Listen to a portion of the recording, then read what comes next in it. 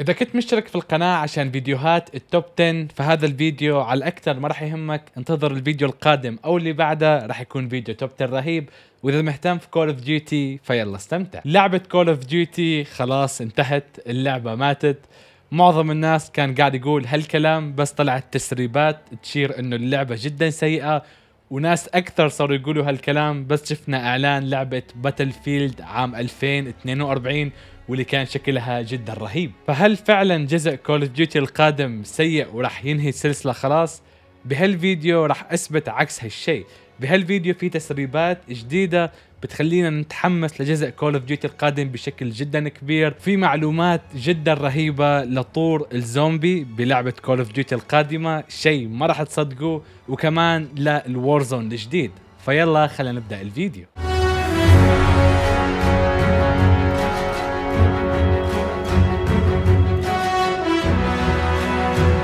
وهذا الفيديو برعاية شركة يوراج. شركة يوراج هي شركة ألمانية متخصصة بصناعة منتجات gaming بجودة عالية. نفس الميكروفون اللي شايفينه قدامكم يلي هو يوراج Stream 750 Illuminated الميكروفون أولا مبني بجودة جدا عالية مثل ما شايفين ما بتحس فيه أي نقاط ضعف. ثانيا بيتميز بألوان ال RGB الرائعة. هاي الألوان فينك تتحكم فيها على راحتك وأظن أي gamer راح يحب هالشيء ثالثا stand الميكروفون شكله غريب بس جدا عملي. بيساعدك تحطه على أي سطح وتستعمله بسهولة. ورابعا وأهم شيء خلينا نتكلم على جودة الصوت بالميكروفون. صوت هالميكروفون جدا جدا نقي وواضح. بينفع لل gaming بشكل عام بينفع لو بدك تسوي فيديوهات يوتيوب لل live stream أو بودكاست والميكروفون فيه mode ين فينك تغير بيناتهم على راحتك. الأول هو mode ال cardioid واللي بيخلي الميكروفون إنه ياخذ صوتك بس بدون أي إزعاج حواليك. وفي mode ال omni direction directional يلي هو مخصص للبودكاست. وفينك تغير بين هال mode ين عن طريق switch بشكل جدا سهل. وفي switch ثاني صغير مثل ما شايفينه بالميكروفون. هذا ال switch بتتحكم فيه بدرجة صوتك بس لو حطيت سماعة جوا الميكروفون اي الميكروفون فيه مخرج 3.5 ملم فينك تحط فيه سماعة وتسمع صوتك وأنت قاعد تتكلم. فلو حطيت سماعة بالميكروفون هال switch راح يتغير شغلة راح يصير يوازن بين صوت اللعبة اللي قاعد تسمعها وصوتك أنت. ففينك تتحكم فيه فيها على راحتك. ممكن حد يقول هل المايك هذا يحتاج pop filter اللي هو الغطاء اللي يكون عادة فوق المايكات. لا هذا الميكروفون مبني بداخله ال pop filter يلي بينقي الإزعاج. والشيء الحلو إنه في خمس سنوات ضمان على الميكروفون. yep مثل ما سمعتوا. إذا بدك تشوف المراجعة كاملة ف check أول link موجود بالوصف رح تلاقي الفيديو على الإنستغرام. ويلا خلينا نبدأ بالفيديو. طيب يا شباب أنا سويت فيديو من ثلاثة شهور تقريبا بنهاية شهر ثلاثة تكلمت فيه عن كل التسريبات تسريبات عن جزء كول اوف ديوتي القادم اللي كنا نعرفها بهذاك الوقت. راح أتكلم بشكل جدا سريع عن التسريبات اللي ذكرتها بهذاك الفيديو. في شخص اسمه توم هاندرسون هذا مسرب جدا موثوق تقريبا كل شيء كان يسرب عن أجزاء كول اوف ديوتي كان يطلع صح. قال إنه ألعاب كول اوف ديوتي الثلاثة القادمة الأولى من Sledgehammer اللي هي كول اوف ديوتي القادمة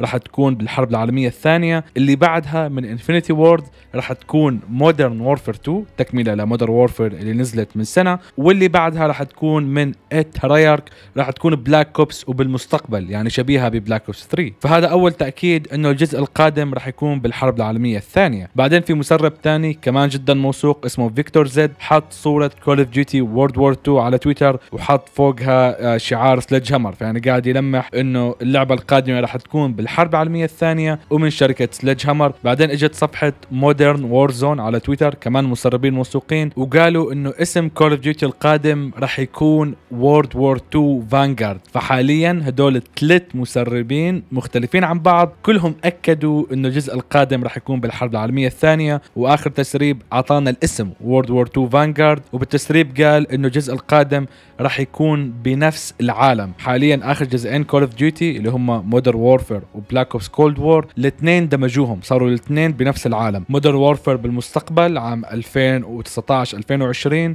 و Black Ops Cold War بالماضي عام 1984 فحاليا الجزء القادم World War 2 راح يرجع للماضي أكثر بالحرب العالمية الثانية. وذكرنا أنه أحداث اللعبة راح تكون من الحرب العالمية الثانية لحديت عام 1950 وبعدها راح ندخل بحرب كوريا. عام 1950 أو بعدها تقريبا بشوي صارت حرب جدا مشهورة بين كوريا الشمالية والجنوبية واحدة مع حلفائها أمريكا وبريطانيا والثانية مع حلفائها الصين وروسيا. فيعني اللعبة ما راح تكون فقط بالحرب العالمية الثانية لا راح تكون الحرب العالمية الثانية واللي بعدها. وكمان قلنا إنه هي أكثر جزء كول اوف ديوتي اشتغلوا عليه الشركة. Sledgehammer آخر لعبة لهم كانت Call of Duty World War 2 عام 2017 فاشتغلوا على هاللعبة 2018 2019 2020 و2021 لأنه أصلا هاللعبة كان المفروض تنزل السنة الماضية فأجلوها لهالسنة وخلوا السنة الماضية تنزل Black Ops Cold War طيب كل هالكلام ذكرته بالفيديو السابق. خلينا حاليا نتكلم عن الأشياء الجديدة. طبعا على الفيديو السابق لسه ما كنا متأكدين هل في جزء Call of Duty هالسنة ولا لا لأنه طلعت إشاعات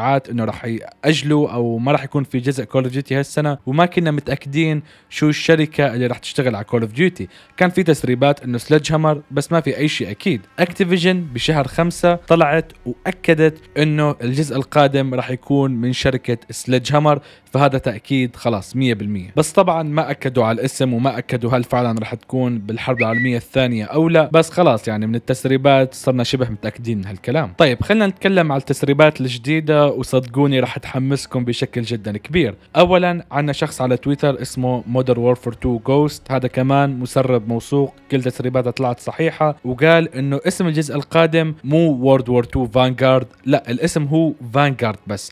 راح يكون Call of Duty Vanguard بدون World War 2 بس أكد إنه راح تكون بحقبة الحرب العالمية الثانية وقال إنه شاف سلاح ال Kar نفس اللي موجود ب Modern Warfare وكان نفس شكله بالضبط. وقال كمان إنه ال HUD أو قوائم اللعب اللي هو شكل القنابل السلاح وكذا راح يكون نفس لعبة Call of Duty World at War اللي نزلت عام 2008 وهديك اللعبة كانت كمان بالحرب العالمية الثانية. طيب الحين خلينا نتكلم بالكلام المهم. عنا أكثر من مسرب موثوق قال هالكلام اللي راح أقوله حاليا. أولا أكدوا مرة ثانية أنه راح تكون بالحرب العالمية الثانية. بعدين قالوا أنه اللعبة راح تكون بنفس engine Call of Duty Modern Warfare اللي نزلت عام 2000 و19 نفس الرسومات نفس ال graphics نفس حركة اللاعب وأظن الكل مبسوط من هالشيء. Modern Warfare كانت جدا كويسة ال graphics الرسومات نظام اللعب وعدد جدا كبير بفضلها أكثر من Black Ops Cold War وثاني شيء إنه هي أول لعبة Call of Duty راح تكون مصممة للجيل الجديد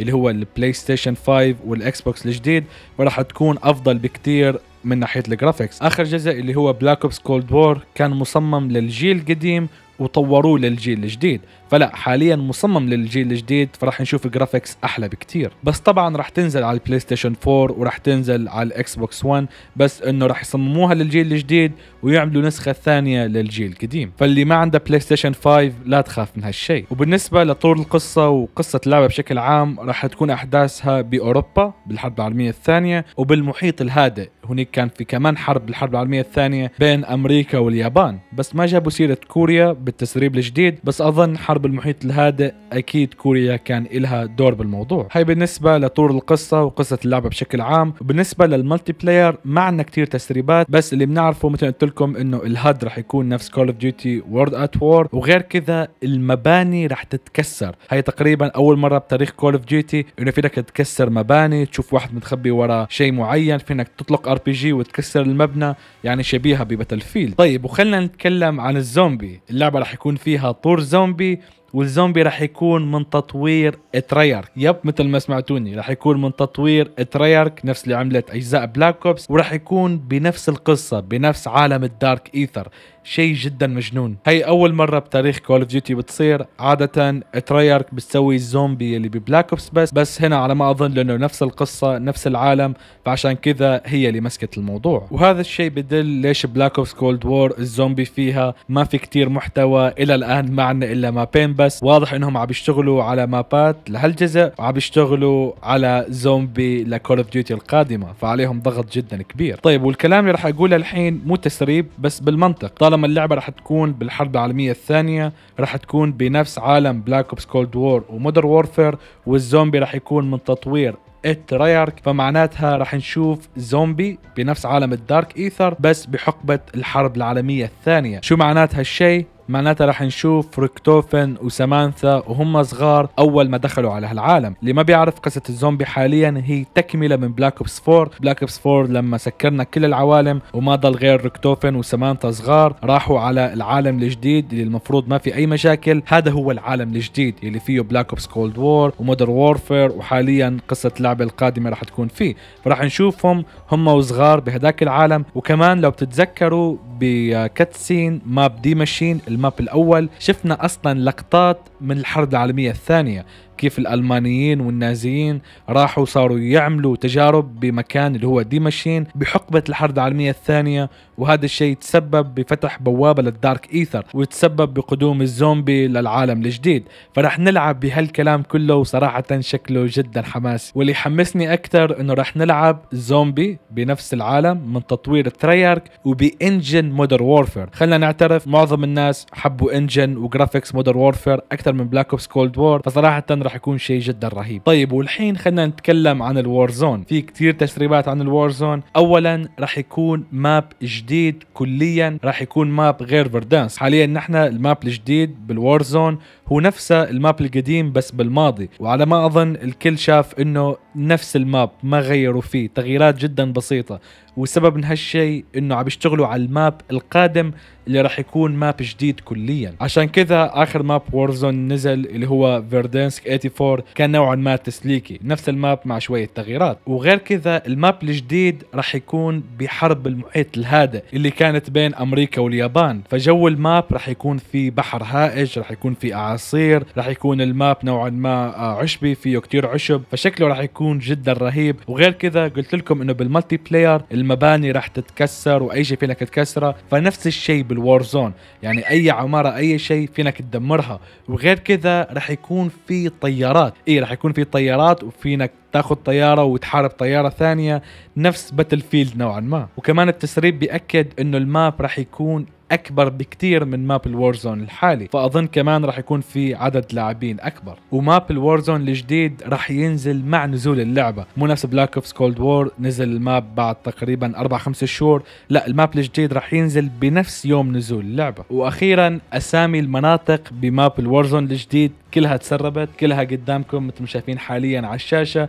ما راح أتكلم عنها لأنه أماكن عادية مثل farm أو مثلا airfield مكان طائرات villages آه كذا. فأتمنى إذا حدا عنده أي تحريات يشاركنا بالتعليقات. بس إيه مثل ما شايفين هي أسامي مناطق map ال Warzone الجديد. طيب وبكذا بنكون خلصنا من التسريبات. بس في معلومة كمان زيادة. Activision عندهم كثير شركات بتشتغل على ألعاب ثانية.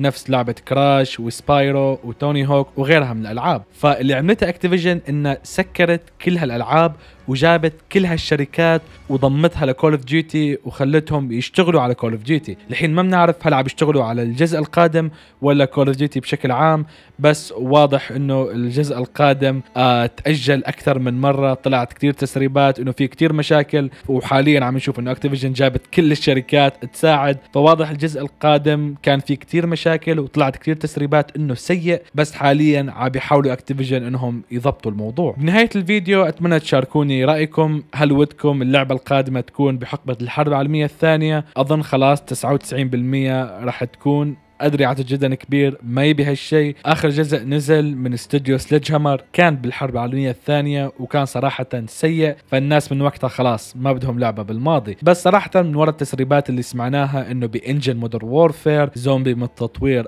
Treyarch map Warzone جديد. أظن نوعا ما هذا الشيء يعوض أو يخلينا نتحمس نوعا ما. وبالنسبة للإعلان فراح يكون مع الموسم الخامس ب Black Ops Cold War وال Warzone وراح يعملوا الإعلان جوا ال Warzone نفس ما عملوا آخر سنة مع Black Ops Cold War بنهاية الفيديو أتمنى لا تنسوا تعطوا الفيديو زر ال like وشاركوا الفيديو بين أصحابكم المهتمين ب Call of Duty وإذا كنت قاعد تشوف الفيديو بنفس يوم نزوله اللي هو يوم الخميس تاريخ 24 6 فاليوم بالليل راح أكون معلق على بطولة ل Call of Duty برعاية جامبو و Dell الشرق الأوسط. البطولة راح تكون على قناتي الثانية وراح يكون النهائي. راح تكون بطولة بال Warzone وراح يكون الوضع فيها جدا حماسي. فإذا ودك تشوف البطولة أو تشوفني قاعد على بطولة check على قناتي الثانية راح تلاقيها فوق على اليمين أو الرابط موجود بالوصف أو بالتعليق المثبت. وبس كان معكم الشركيال شركة كيش كم فيديوهات ثانية إن شاء الله. مع السلامة.